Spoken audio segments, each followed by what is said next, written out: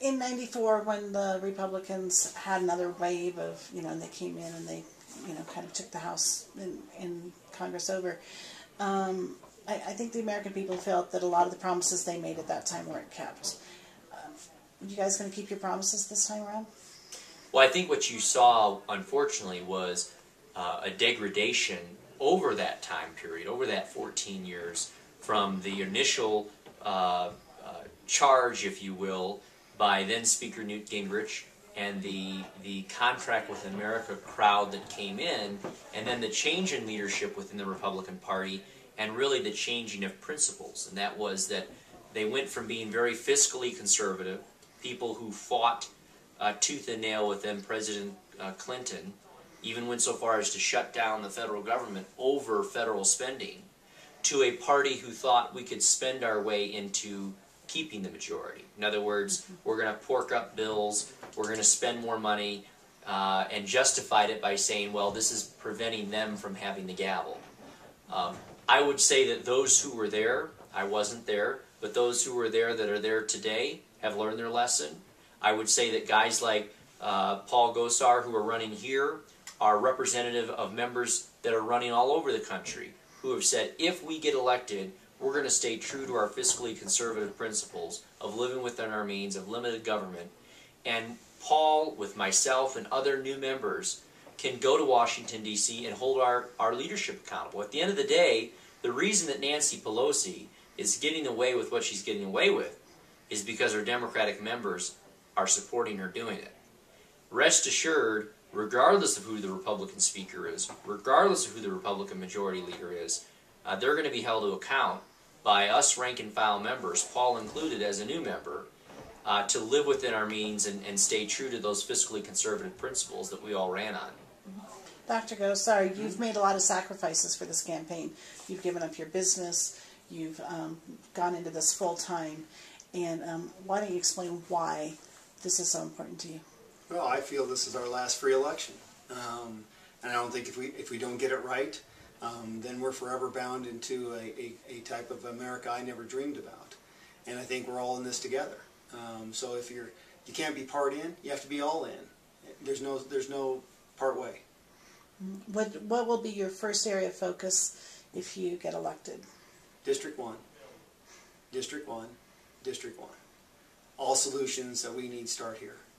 When we understand our problems, then we can start taking care of other problems for other folks. And we can advocate on behalf of our problems. And I think what's happening in Main Street America, which is District 1, we're a rural district, we're, some, we're small business, that's what gets it. And if we can come up with our solutions, then I can get back in Congress with Aaron and all those other folks that we can make a big difference for small business and the, the free market enterprise. That helps all of us. You seem, and throughout your campaign, to um, feel that we've also lost track of the Constitution in a lot of what's happening in Washington right now. And um, I, I understand you feel that we should be looking at programs and entitlements and everything in light of the Constitution. Um, what what's that? What does that mean? What is that going to look like? Well, I think you know our forefathers had a template that, that brought this country to be being the greatest. Um, they sacrificed everything in which to found this this nation. And it's those same principles that we have to re-energize. We have to get back to.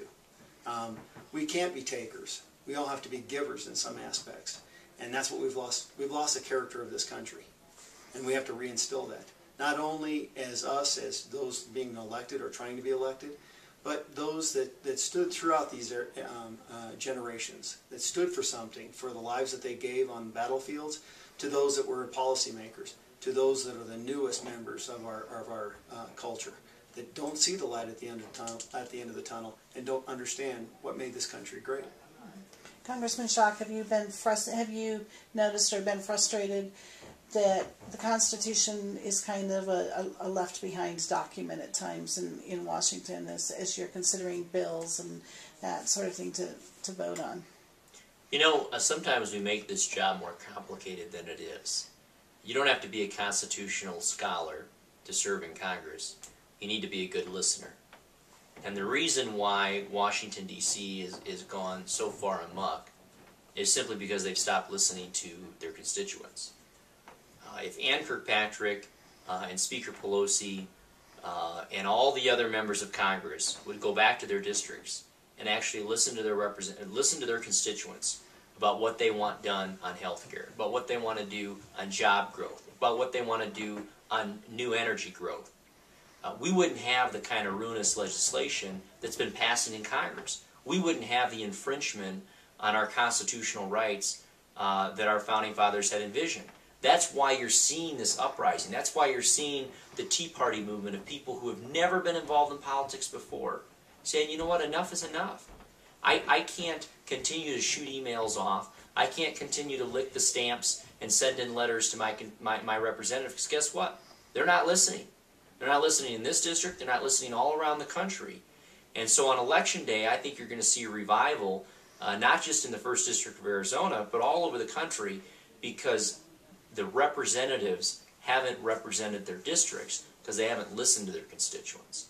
So you know, I, I take a pretty simple approach to this job, and that is if I go home every weekend as I do since I've been in Congress for two years, I've gone back to my district, I've traveled my 20 county district, and I know exactly where my constituents are on these bills. So when I go back to Washington, D.C. during the week, it's very clear where I stand. It's very clear where my constituents want me to be, and I can tell my colleagues who I serve with in very plain English, understandable terms, why the bill does not make sense for my constituents, why the health care bill is going to raise costs, why the health care bill is going to make it more uh, difficult to provide health insurance.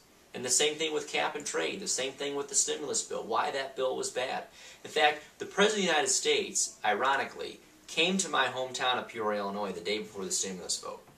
And he visited Caterpillar Tractor Company.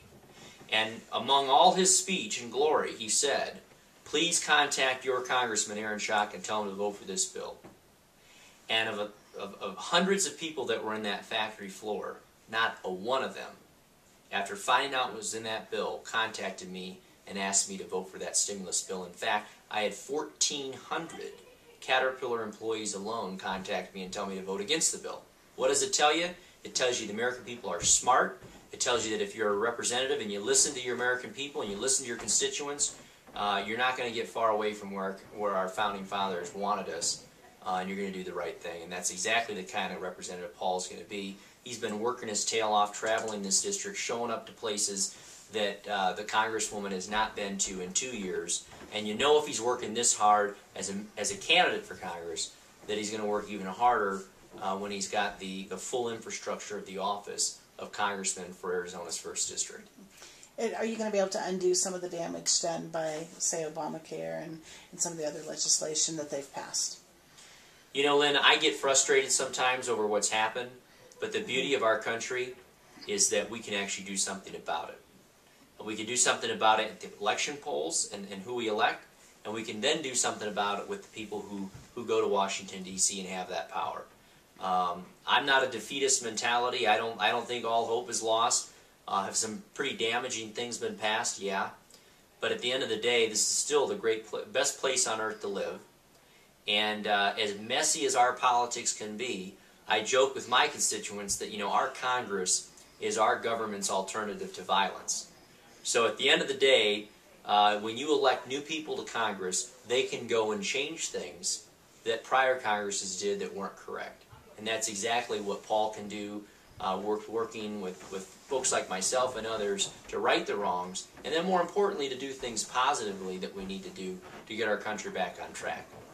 Dr. Gosar, on your, um, you've said one of the things you want to do is you want to listen mm-hmm. to your constituents.